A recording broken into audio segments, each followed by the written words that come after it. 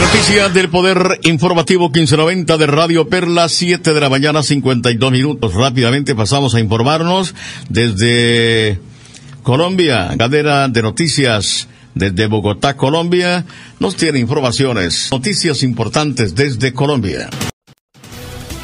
Panorama Nacional, Noticias RPTV, dirige Daniel Muñoz. Hola, ¿qué tal? Un cordial saludo para todos ustedes. Bienvenidos a este panorama nacional de la Agencia de Noticias RPTV. Para hoy martes 16 de junio del 2020. Soy David Parra y para mí es un gusto estar con todos ustedes.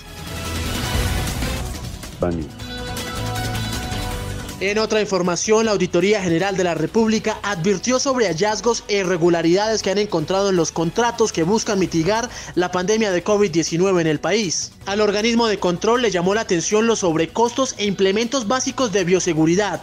Por ejemplo, el costo promedio de un tapabocas N95 es de 20 mil pesos, pero en la ciudad de Mocoa se adquirieron 100 a un precio unitario de 48 mil pesos. En otro ejemplo, en Villanueva se compró una cantidad similar pero con un de 27 mil pesos y en el municipio de Leiva se adquirieron a 24 mil pesos. Es por esto que la auditora general de la República, la doctora Alma Carmen Sarazo, hace un llamado a los entes de control territoriales para estar muy atentos a todos los movimientos de la contratación en el país.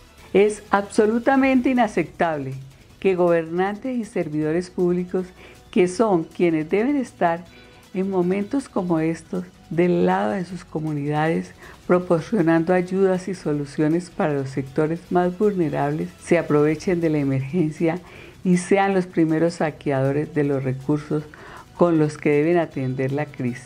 Y es por eso que la Auditoría General de la República hace una invitación a todos los ciudadanos a que participen en las veedurías ciudadanas para así ser todos responsables y cuidar los recursos de todos los colombianos.